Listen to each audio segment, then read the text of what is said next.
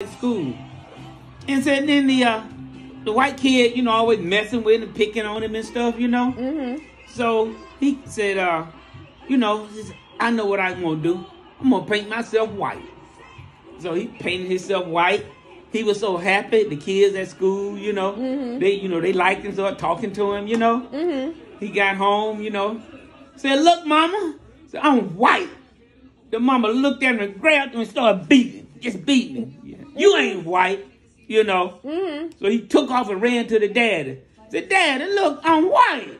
The daddy started beating him, you know. then, he, then he ran to the grandmama. Grandmama, look, I'm white. And she grabbed her walking cane and started hitting him with her walking cane, you know. So he ran, the daddy walked up to him, said, Now, have you learned anything? He said, Yeah. He said, I've been white for 30 minutes and I hate three niggas already.